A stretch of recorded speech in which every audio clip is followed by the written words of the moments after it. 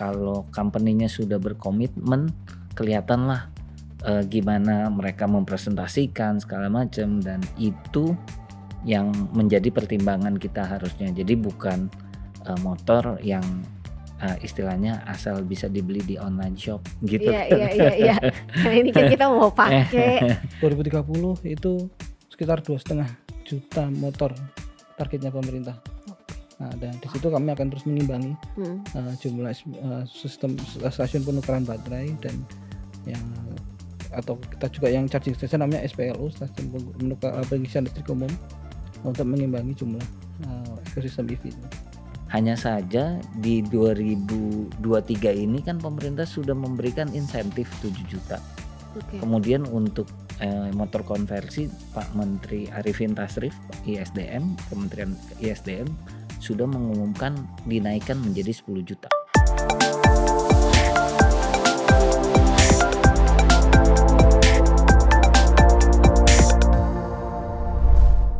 Halo teman kumparan apa kabar? Ketemu lagi sama aku Melisa Lolindu.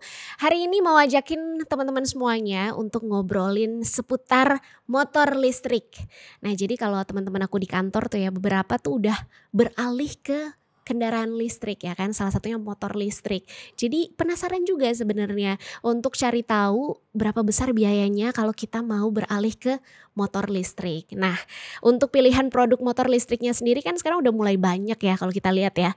Ada berbagai brand yang memang khusus memproduksi kendaraan listrik nih, teman-teman.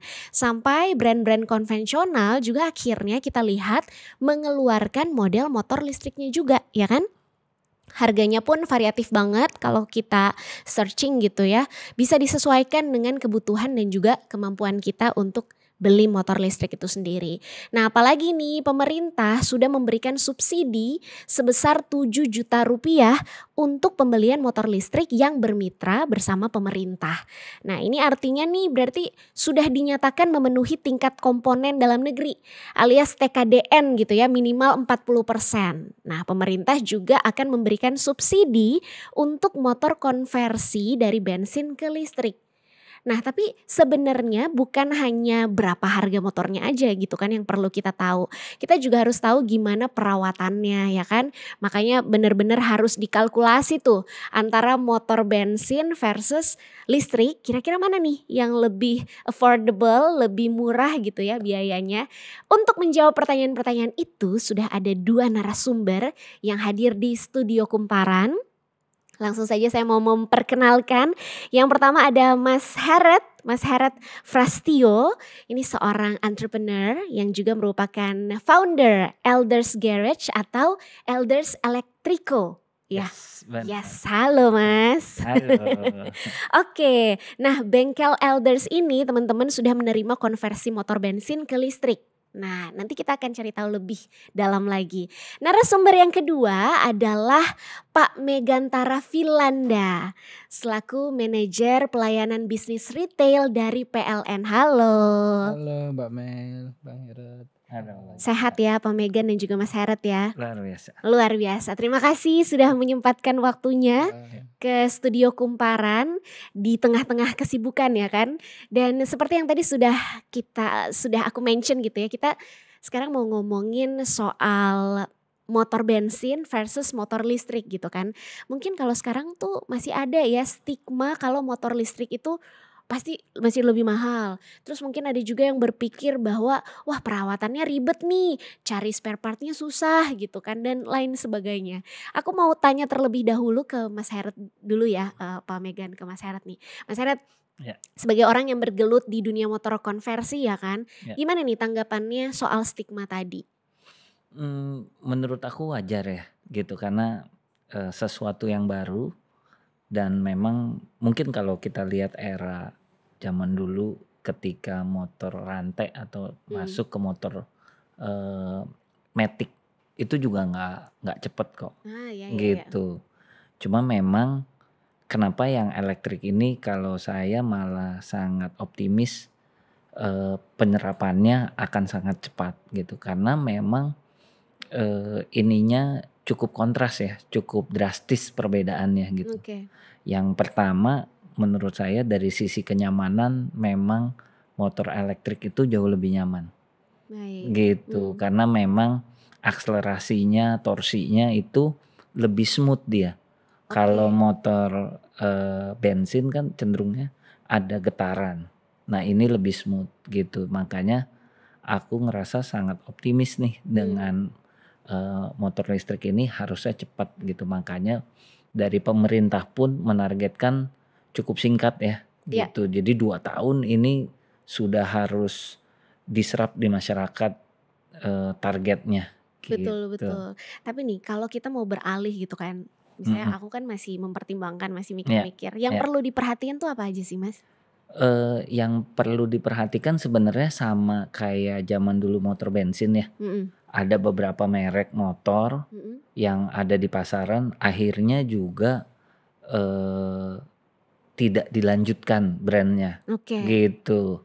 Karena eh, konsistensinya. Jadi Hmm. yang pertama harus lihat backgroundnya Hmm. company-nya tuh eh, konsisten nggak usia company-nya udah berapa tahun company-nya dari mana Oke. gitu nah kalau sekarang aku lihat beberapa brand motor listrik itu punya history ada beberapa yang sebelumnya ada yang membuat sepeda kemudian sekarang menjadi eh, motor eh, apa produksi motor listrik dan Mhm, menjual motor mhm. listrik ada beberapa yang eh, perusahaan dari Eropa gitu jadi kita harus lihat itu karena yang paling penting after sales-nya Oke. gitu. Apalagi tadi ada keberada ada yang namanya spare part segala Hmm. macam.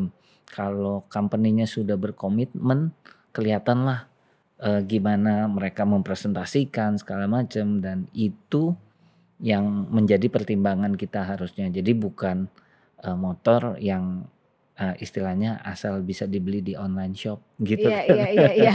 Karena ini kan kita mau pakai, iya gitu. diperhatiin Eh, keselamatannya, terus nanti kalau ada perawatannya, lain sebagainya. Nah, gitu. soal perawatan nih. Jadi kalau perawatan motor listrik itu perbedaan yang paling signifikan dengan motor bensin apa aja, Mas? Perawatannya sebenarnya lebih kepada eh, karena ini energinya lebih clean ya. Hmm. Jadi tidak meninggalkan eh, bekas oli atau Iya. bekas eh, bensin sendiri gitu. Jadi akhirnya perawatannya jauh lebih simpel gitu.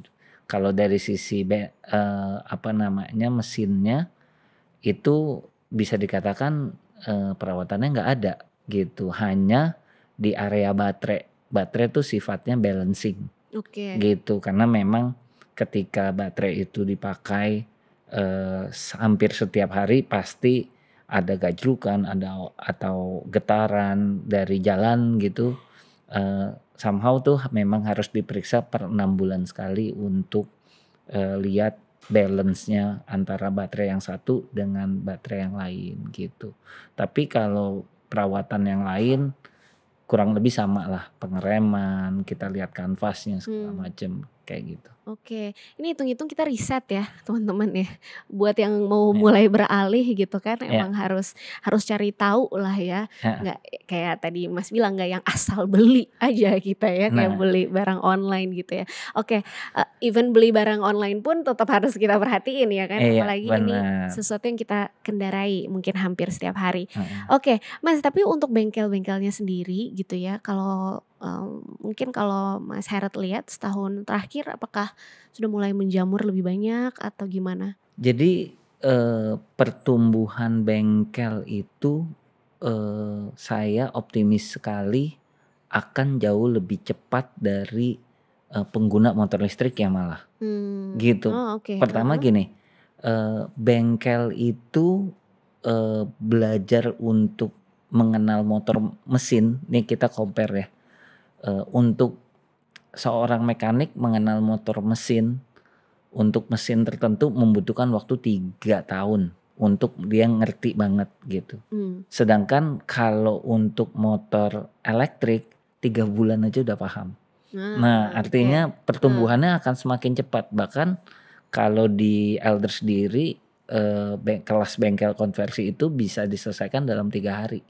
Oke. Gitu. Selanjutnya mereka udah bisa mengkonversi motornya gitu. Jadi Wah, jangan menarik. khawatir kalau dari sisi bengkel untuk mereka shifting itu sangat gampang gitu. Cuma memang balik lagi eh, tugasnya bengkel kan eh, di elektrikalnya nih Iya, iya. gitu. Jadi jangan sampai teman-teman ngelihat motor listrik bentuknya lucu-lucu gitu Mm, kan. mm, mm, mm. Eh, ternyata eh, apa rangkanya bermasalah segala macam atau kaki-kakinya gitu. Jadi eh, saran saya pastikan kenapa aku yakin produk lokal jauh lebih oke Mm, mm, mm. ketimbang produk impor. Mm, Sorry itu saya kalau aku sebutin dari China gitu karena memang di China sendiri eh, usia motor elektrik itu cuma lima tahun karena Oke, setelah itu mm, di mm. scrap. Nah jadi sekarang kan pemerintah udah ningkatin TKDN jadi memastikan produksi lokal.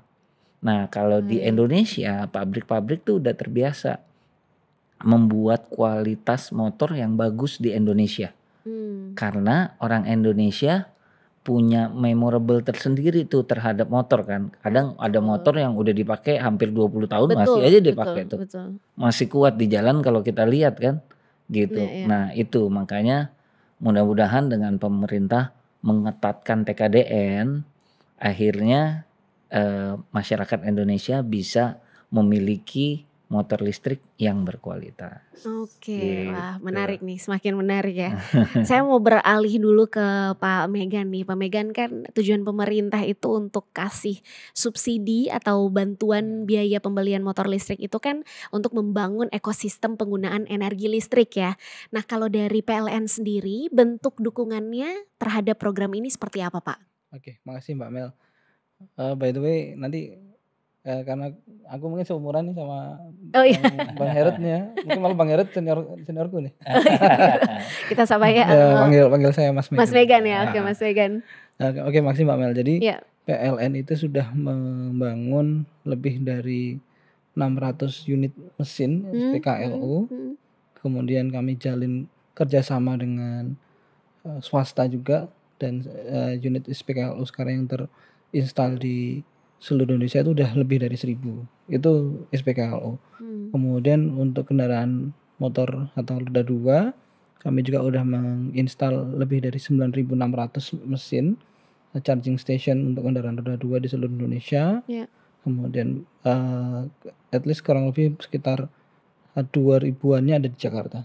Kemudian khusus stasiun penukaran baterai kendaraan listrik kami udah eh, install lebih dari 1.800 ya, 1.800 unit S- SPBKLU dan itu akan terus kami tambah ya di 2024 targetnya minim paling tidak eh, 15 setiap 15 motor listrik itu harus ada satu swapping battery. Kita melakukan riset Oke. melalui konsultan eh, kemudian diformulasikan ternyata paling tidak setiap 15 motor listrik itu harus ada satu swapping battery atau eh, charging station.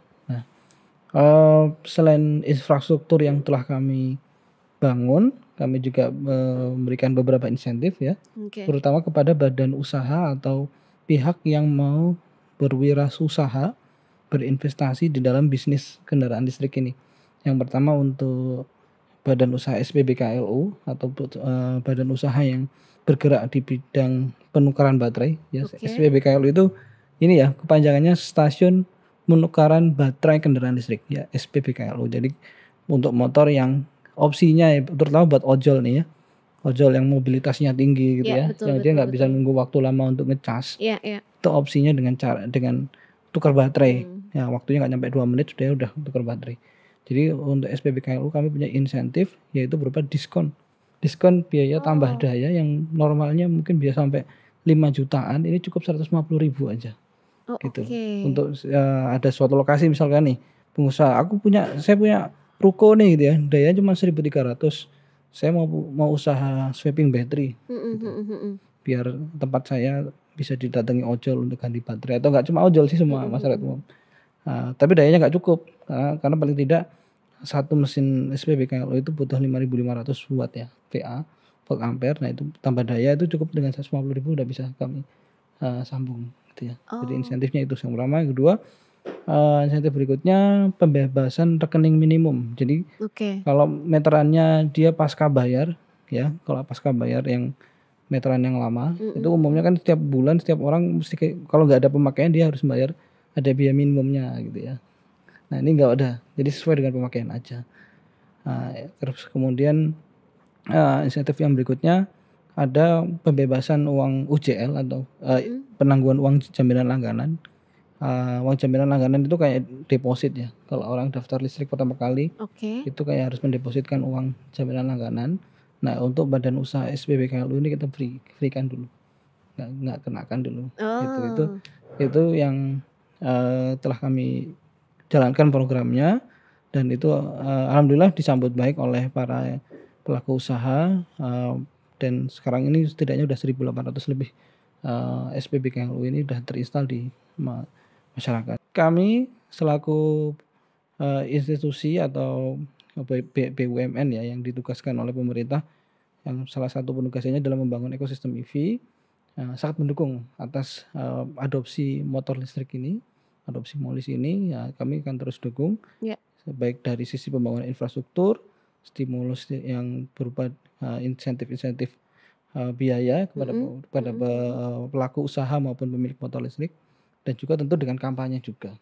Ya. Oke, okay. uh, Mas Megan, tapi tadi kan dijabarkan ya sekarang untuk titik-titik um, ganti baterainya hmm. sama charging stationnya itu kan maksudnya masif untuk dibangun gitu ya. Tapi ke depan ini apakah ada target tertentu gitu ya charging stationnya akan terus bertambah sekian titik-titik hmm. untuk penukaran baterainya juga? Ya, ya tentu. Jadi kami uh, ada konsultan yang yang membantu kami untuk menghitung itu setiap uh, calculationnya itu kesimpulannya setiap ada 15 unit motor itu harus ada satu mm-hmm. uh, sistem penukaran baterai atau charging station tergantung jenis motornya.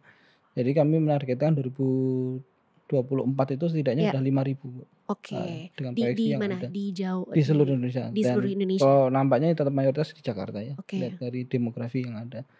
Uh, 2030 itu sekitar dua setengah juta motor targetnya pemerintah.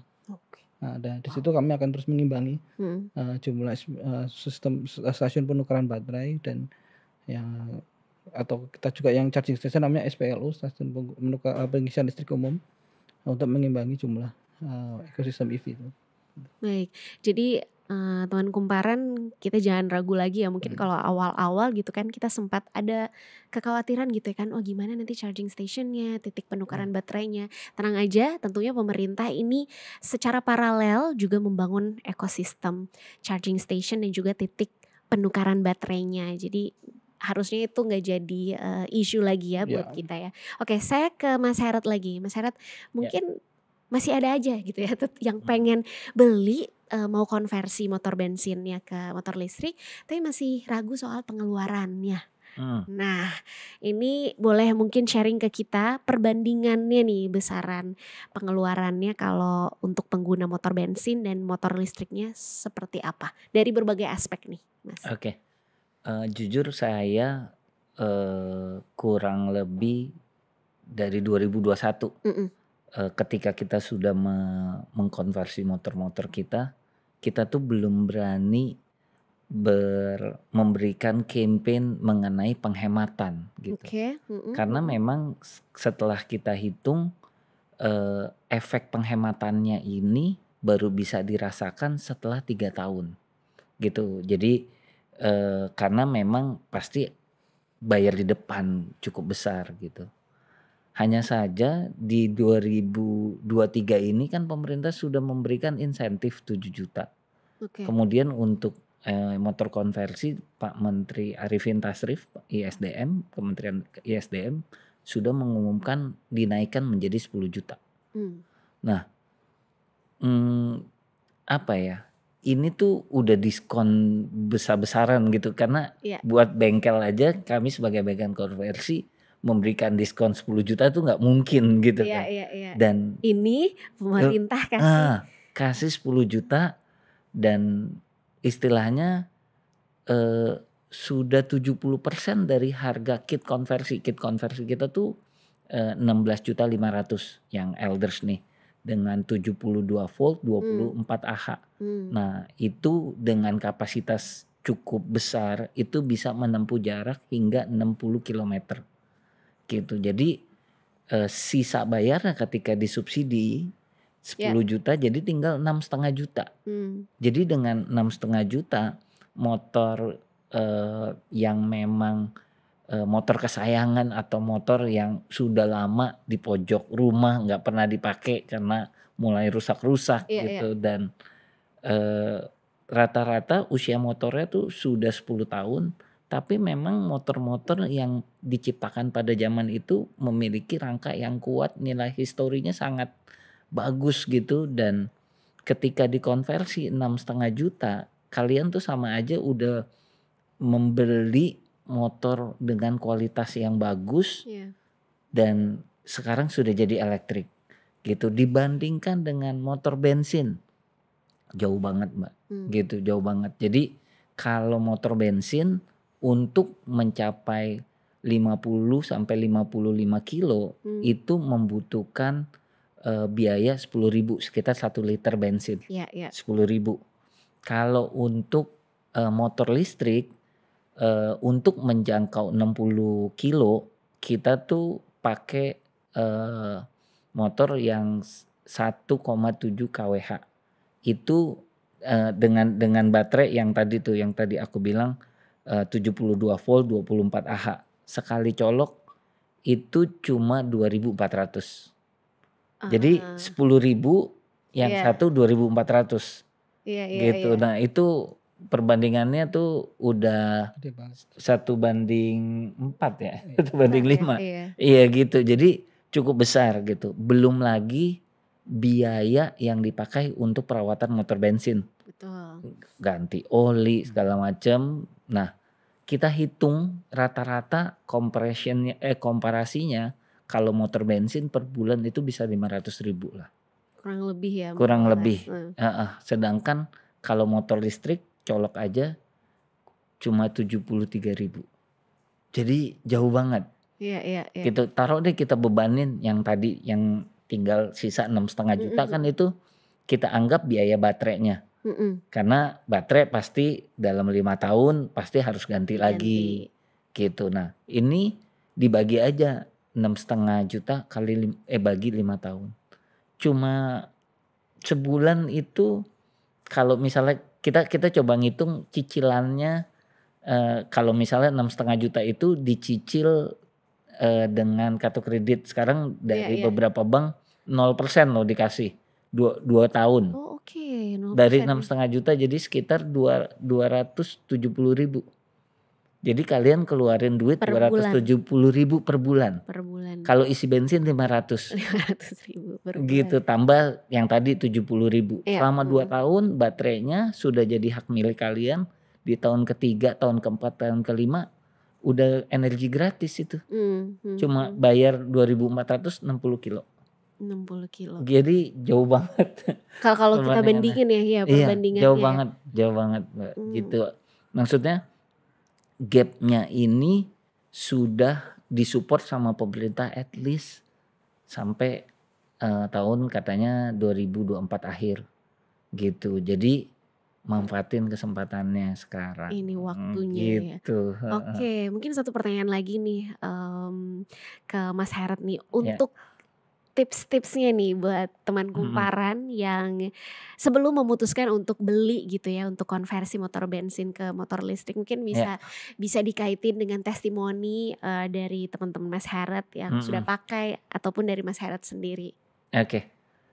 Tipsnya eh yang pertama yaitu tadi pastikin pastiin eh, after salesnya gitu. Jangan cuma Hmm, hmm, hmm, hmm. beli-beli aja gitu. Terus eh, kalau misalnya mau mengkonversi eh, pilih motor yang memang punya nilai history gitu. Jadi eh, pertama kenangannya dapet, terus eh, dapat ininya juga ya. Eh, sekarang tuh eh, pride-nya gitu. Ah, Karena kalian juga bukan cuma mengkonversi tapi menyumbang kebaikan buat bumi kita gitu. Bahkan kalau di Elders tiap orang yang mengkonversi kita kasih satu pohon ah, untuk mereka tanam pohon bantu kita hijauin lagi bumi ini lagi. gitu. Jadi kegiatan-kegiatan itu yang kita harapkan uh, bisa menginspirasi masyarakat lah gitu. Hopefully ya, Iya, hopefully ya. iya. Oke, Gitu. wah terima kasih nih Sip. Mas Heret. Saya ke Mas Megan nih, ini menutup eh, sesi kita ya podcast kita hari ini. Kalau kita udah punya motor atau mobil listrik nih, eh, Mas, untuk cari tahu SPKLU terdekat itu bisa di mana, Mas? Ya, Boleh kasih eh, info jadi eh, teman kumparan? kumparan ya, ya teman-teman kumparan. Jadi PLN ada aplikasi super app namanya aplikasi PLN Mobile. Oke, Aplikasi PLN Mobile di di sini nanti ada menu electric vehicle ya. Ada electric vehicle di sini pun juga nanti akan ada menu untuk melihat SPKLU dan SPLU terdekat. Dan juga ada SPBKLU juga untuk keran baterai. Jadi nggak usah khawatir di mana pun tinggal buka aplikasi PLN Mobile di sini Bapak Ibu teman-teman kumparan ya bisa lihat dia langsung nge-sort nge-sort eh, yang terdekat dari kita berada. Kalau dengan dengan tipe peta juga bisa langsung muncul koordinat-koordinat maps-nya ya, eh, Pak maps ya. yang terdekat ya, di sekitar kita. Oke, gitu. jadi download aja aplikasinya PLN PLN Mobile, Mobile. di Play Store dan App Store. Ya. Mantap. Jadi di situ kita bisa langsung lihat ya Ya. maps-nya Hmm. di mana aja yang terdekat dengan kita. Mbak Mel. Terima kasih banyak informasinya eh, Mas Megan dan juga Mas Heret.